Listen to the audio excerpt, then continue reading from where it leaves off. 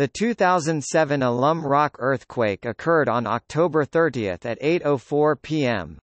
Pacific Daylight Time in Alum Rock Park in San Jose, California. It measured 5.6 on the moment magnitude scale and had a maximum Mercalli intensity of V strong. The event was then the largest in the San Francisco Bay Area since the 1989 Loma Prieta earthquake, which measured 6.9 on the moment magnitude scale, but was later surpassed by the 2014 South Napa earthquake. Ground shaking from the Alum Rock quake reached San Francisco and Oakland and other points further north. 60,000 felt reports existed far beyond Santa Rosa, as far north as Eugene, Oregon.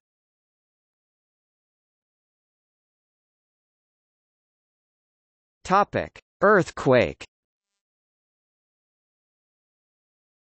The shock originated on the Calaveras Fault and ruptured an area of the fault for a length of about 5 kilometers (3.1 miles) beginning at the hypocenter and extending southeast. No surface trace of the earthquake along the fault.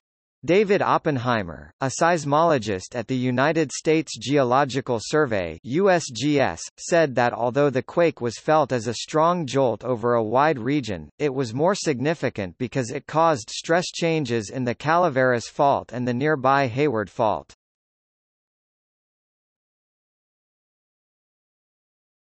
Topic: Damage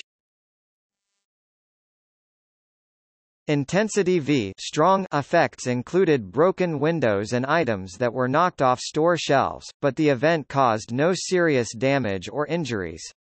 Some parts of the Bay Area felt the rupture for up to 15 seconds.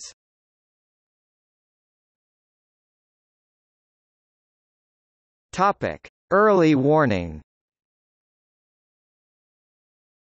ELARMS, an earthquake early warning system, accurately predicted the quake seconds before it struck, correctly estimating the earthquake's magnitude to within 0.5 magnitude units using only 3 to 4 seconds worth of data. Scientists with the California Integrated Seismic Network hope to refine the system to provide a 10-second warning in a similar quake to residents of Oakland and San Francisco.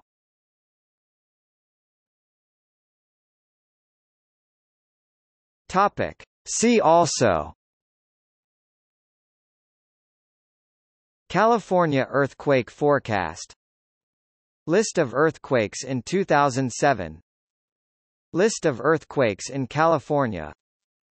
List of earthquakes in the United States